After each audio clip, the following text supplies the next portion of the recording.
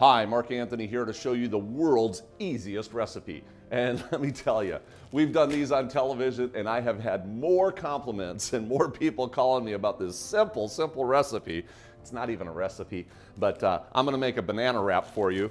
And uh, let me tell you, we've got some whole grain tortillas. Actually got these at Sam's Club. They're the ones that are in a box. You gotta look for the commercial area.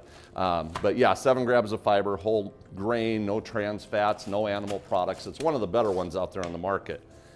And then all you gotta do is get some peanut butter and spread some peanut butter on here. And let me tell you, we make these in the mornings. Uh, even my puppy loves them.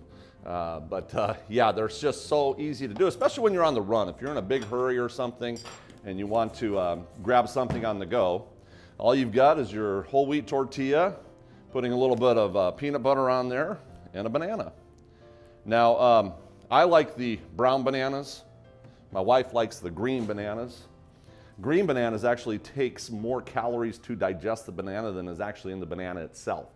So these are uh, uh, good for weight loss. When the banana turns brown, uh, the starch turns to sugar. You end up with more calories in it, easier to digest.